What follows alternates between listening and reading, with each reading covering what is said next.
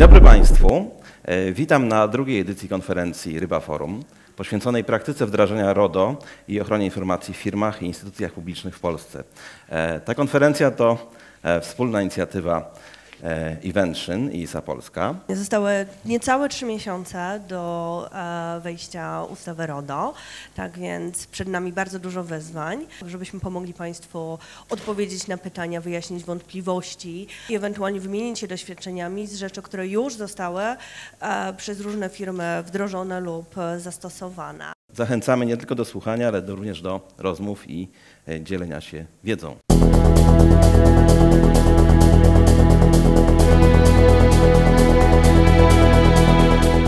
Have Article 5 that says that you have to be accountable for everything you do on personal data. What does that mean? It means that you have to show evidence that you have done something in consideration of the personal data that you are processing.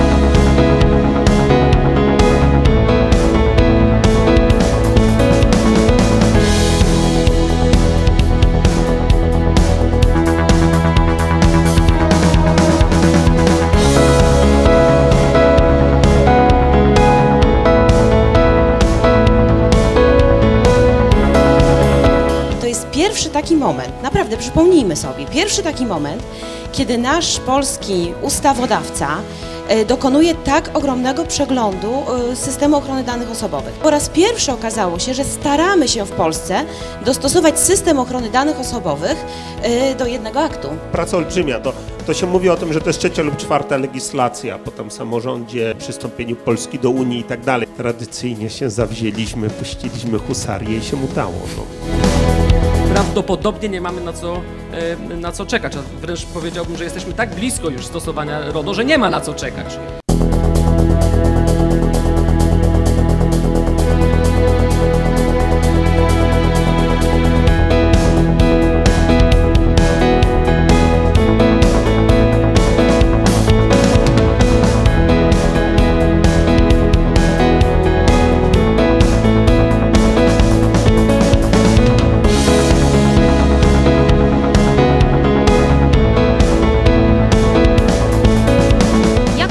Wykonawca nie zgadzamy się na zapisy i które proponuje administracja publiczna i które proponuje sektor prywatny, że my jako wykonawca dostosujemy rozwiązania, dostosujemy funkcjonalności do wymogów PBD.